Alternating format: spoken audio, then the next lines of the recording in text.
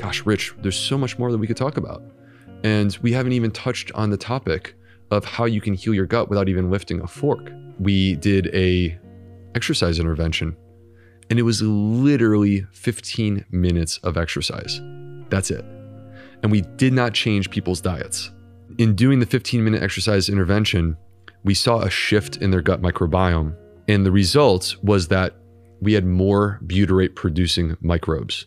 Now, of course, like we want to strive to do even more than that if we can. I mean, we know that people who get more sleep, more restful sleep, have more diversity within their gut microbiome. The people that we surround ourselves with. Very interesting study, Rich, where they looked at um, spouses. The people who felt closest to their spouse were sharing the most microbes. The people who felt most distant from their spouse were not. Mm. So we're making substitutions that are leveling up our gut microbiome, leveling up our health.